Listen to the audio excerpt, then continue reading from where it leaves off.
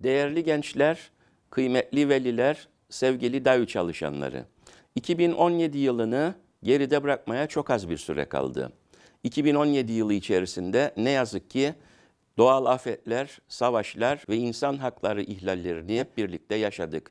Umarız 2018 yılı dünya insanlığına barış, kardeşlik, refah ve güzel günler getirir.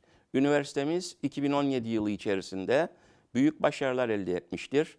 Bu bakımdan tüm DAVİ çalışanlarına burada ayrıca teşekkür etmek isterim. 2018 yılının tüm dünyaya hayırlı olmasını diler, hepinize saygılar sunarım.